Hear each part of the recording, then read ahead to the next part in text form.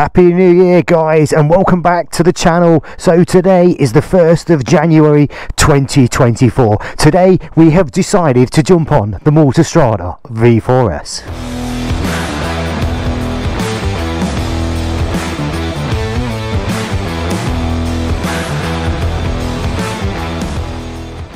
This is the dilemma we have today. Uh, we've got this flooded bit of water here. This is generally the road that we take that takes us out to the Melton to Market Harborough Road, one of my favourite roads for a bit of a ride. This water, I've got no idea how deep that is. I've seen one or two cars turn around. Uh, I've not seen anybody attempt to get through it. There's a car right at the bottom there. It doesn't look like they're going to risk it. Actually, there's a van just coming up behind me now, so um, whether they will get through or not, I don't know. Um, but we're on the Multistrada today, and we have got the ground clearance on the bike. This van's not taking their chances today. It must be pretty deep, guys, but um, I kind of fancy my chances today. We've got a breakdown cover, that's the main thing. Okay so we've got a car coming through now. It does look fairly deep. Do I take the risk with the Multistrada yeah I mean they've they've made it through safely. Yeah. The old deer in the front she'd literally got her hands like this. She was praying that they made it and they did. But it's kind of like which line do you take? Do you go straight through the middle so yeah again we've got another couple of cars here that have just pulled up and they're decided to spin round. Nobody's willing to take the chance today. Like I say we've got a little bit of ground clearance on this and this is the purpose of the Multistrada. Do we do it or do we not? That is the question and I think we should just go for it. Amy's not looking too confident. What's the worst that can happen Right, I'm not quite sure. At the worst, we'll just, if we feel like we're to get into trouble, we're to have to bail and maybe end up kind of uh, pushing the bike. just checking. I don't think Amy's got her uh, waterproof boots on today.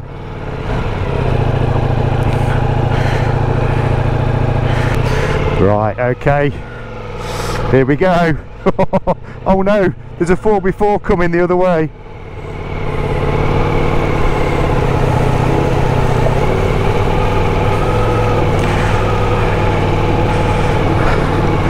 Oh, this is getting deep. This is getting deep, guys. We're at the point where uh, no return now.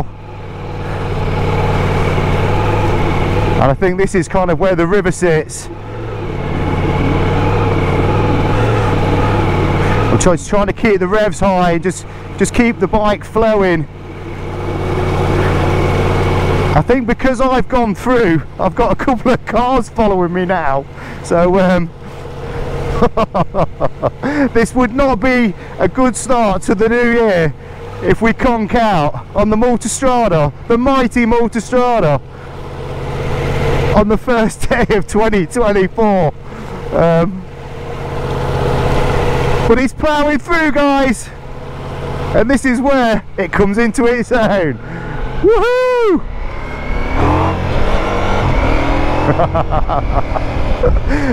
A little wheelie for the girl carrying the camera back there.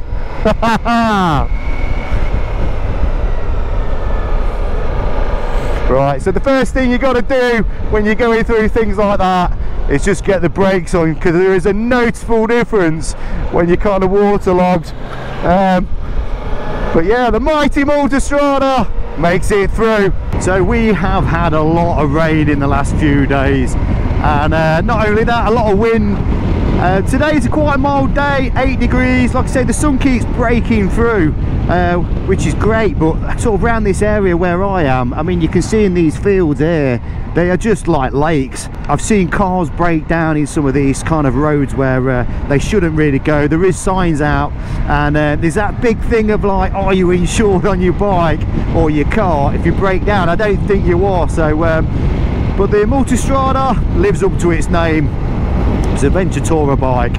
Um, and this bike's coming up for nearly three years old and uh, be three years old in March and it's been a fantastic machine I mean unfortunately for me I've not done the mileage I was hoping to do on it but if you are a subscriber to this channel you'll probably realise I do ride a lot of other bikes done a few tours this year and uh, today's video was all about just bringing you along start of the year wishing you a, a happy new year and um, well watch out for these speed bumps they catch you out a little bit. So yeah we're just going to basically tell you what our plans are for the year what we're going to be getting up to. There's a guy here look he's trying to unblock this uh, drain there and so on one down on the bike collection in a minute. The Ducati Streetfighter has been sold guys. Yes uh, it was a big decision to get rid of it. I love looking at the bike. The bike is absolutely an awesome bit of kit. Um, but unfortunately for me I only did two rides on it which were both the Ducati days the Ducati track days. And um, I just couldn't see me really riding it anymore and I didn't want it sitting there because there's a bit of money tied up in it. So that bike's been sold. Um, I'll be honest I'm half tempted to uh, to sell the Multistrada at some point as well and just have a change really. This bike's going to be three years old in March and uh, I can't believe where the time's gone. I've really not done the mileage on the bike that I was hoping to do. Um, and the last service I did I've done 700 miles. I'm uh, sort of embarrassed for myself really but as you guys know the ones that have been subscribed to my channel the ones that have been following me uh, will realise I've done quite a few adventure rides but not on this bike. Um, so I've done the mileage this year just on a variety of bikes. This is one of the problems when you start producing YouTube videos it's fantastic to ride all the other bikes and uh, get loaned bikes and, and, and, go on these bike tours have been amazing but unfortunately it doesn't give me time to ride my own bikes. So but when I jump back on this bike for instance it just makes me smile. It's just been uh, an awesome bit of kit. Um, I'm so glad I changed the uh, the tyres to the Michelin Road 6s as well. They were highly recommended by you guys and I'm recommending them to anybody that's got one of these bikes. If you want something with a bit more grip, especially in these conditions, then they are a fantastic tyre. It's a little bit breezy around today, but like I said, the last couple of days we've had some high hurricane style winds and um, it's just not been possible to get out. So what I'm going to do is bring an updated review on this bike. It'll be the three year review and I can tell you the good, the bad and the ugly. As for bike changes, well, I don't think I'm going to replace the Streetfighter with anything sporty as yet. Um, I do need to get out there, do some demo rides. Um, I'm kind of warming towards the middle weight adventure bike scene and um, obviously bring you guys along on those rides to see what you think. But I think ultimately it comes down to what riding you want to do. Something that's a little bit lighter something I could do more trails on it.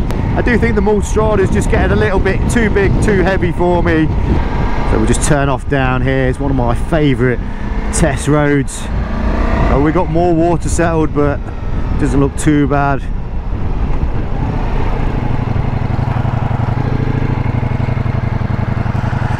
for this car to go through. He's probably not see it till last minute. It's right on the corner there. He's done the right thing as I shall get on the other side of the road.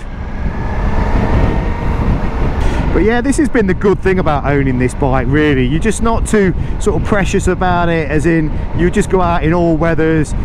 So I'm just going to turn off down the lanes here. I might be making a mistake here because I've got no idea whether these are going to be kind of rideable really. It's been a little while since I've been down here.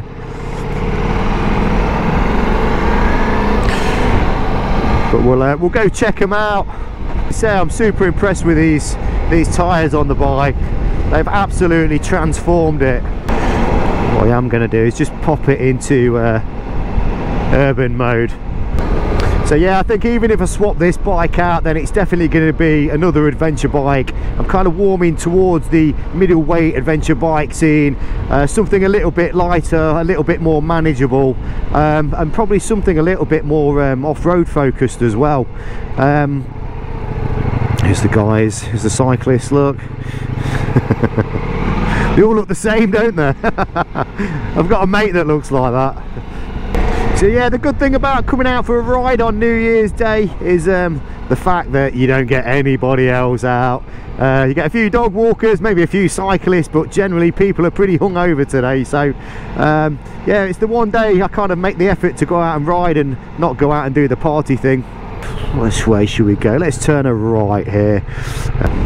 Although as we've kind of gone a little bit higher, that wind has picked up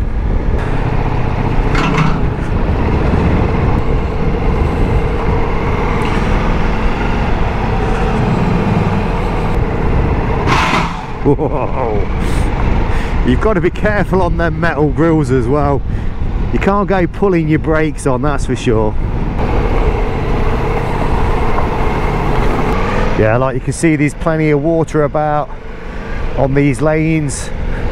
I've just noticed the fuel lights come on and um, I did attempt to fuel up a little earlier on but uh, the petrol station was short it was only one of those kind of small village ones so we need to find somewhere a little bit bigger. There's some absolutely beautiful houses when you ride through these affluent villages.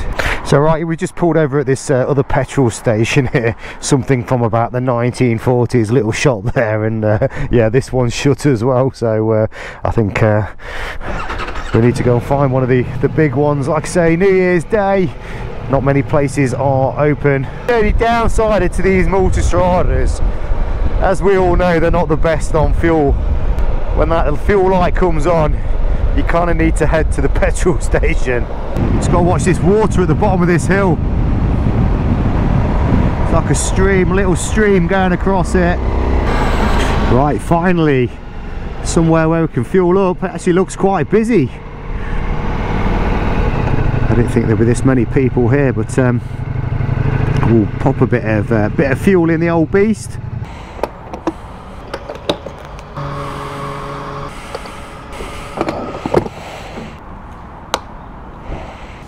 So we've just fueled this beast of a bike up and uh, it looks like it's going to rain any minute. It has gone really dark as you can see with the the multistrada is absolutely caped up so I think we're definitely going to need to give it a little uh, wash down when we get back I'm going to give a big shout out also to the channel sponsors Bikerheadz that have been absolutely fantastic uh, with me and Amy here as she is wearing her new Rukka kit uh, which kit is this? Uh, the ladies Nivala suit. This is a Gore-Tex Pro, zips together and is fully waterproof, absolutely perfect for days like this. As for me, I'm wearing the Rukka Explorer R suit today. As you know, if you follow this channel, I've ridden with this suit to one of the highest roads in the world and I've also ridden to Mount Everest Base Camp. This kit is absolutely perfect. So as for the channel, we've got a few bike shows. We're going to be starting this year with the Winter Classic Show. The Winter Classic Show is the first one. I think then we're attending the Classic Dirt Bike Show. We've also got the bigger ones like the ABR Festival, uh, which will be there for the whole duration of that this year. And uh, plenty of others. Uh, we're also going to be doing quite a few uh, bike reviews. I've also got a big adventure trip coming up this year in March. We've got three brand new motorcycles and I can't tell you what they are or where we are, so you have to stick around for that one. So we just want to say Happy New Year to you guys. Ride safe. And don't forget, if you've not subscribed to this channel, please do so. Give us a like and we'll see you in the next one.